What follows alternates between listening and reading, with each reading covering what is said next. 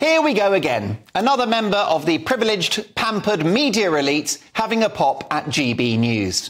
James Naughtie, a presenter on the licence fee funded BBC Radio 4 and ex presenter of the morning breakfast show, the Today programme, has said the arrival of news channels like GB News in the UK is a worrying development.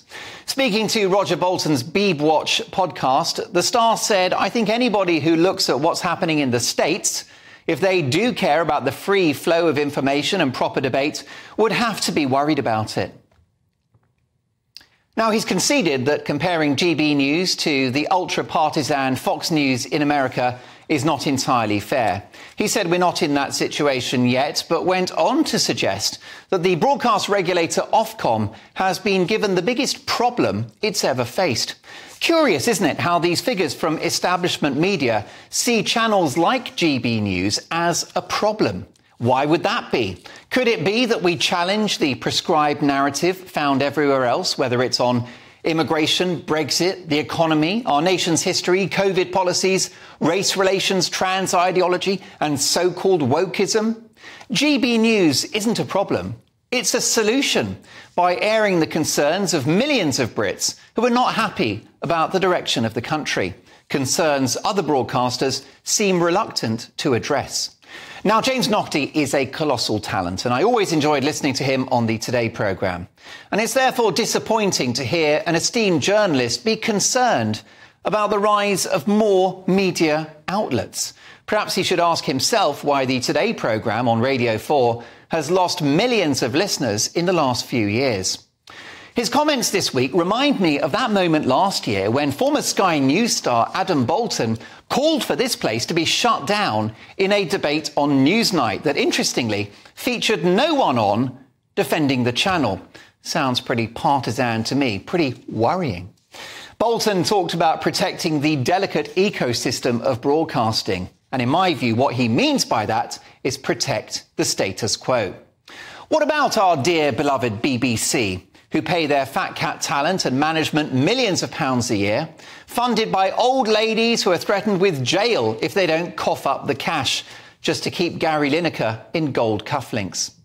The Beeb have been accused at the COVID inquiry this week of misrepresenting the threat of the COVID 19 virus in order to support lockdowns. Professor Mark Woolhouse, government advisor and top epidemiologist, railed against the corporation for treating deaths among younger, healthier people as the norm. They were not. He argues the BBC characterised COVID as indiscriminate. It was not. I wonder how that one slipped past BBC Verify.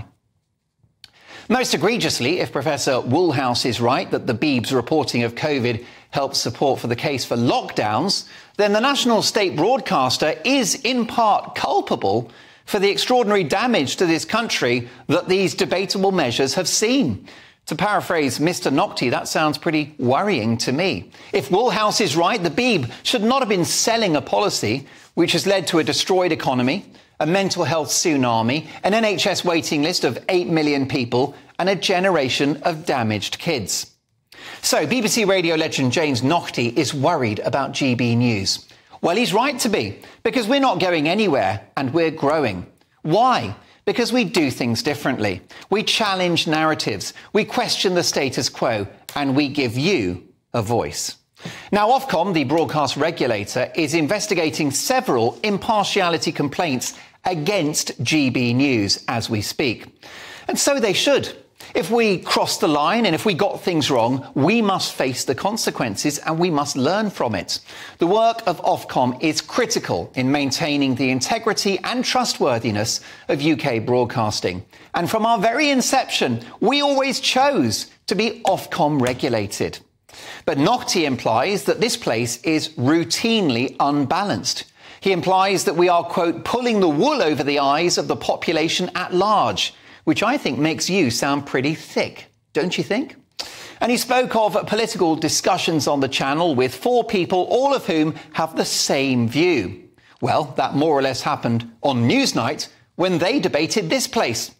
But anyone that's watched GB News for more than 11 seconds will know that we normally have opposing voices. And this programme in particular, Mark Dolan Tonight, is the home of diverse opinion. and famous for the presenter regularly getting a kicking from his own guests, which is how I like it.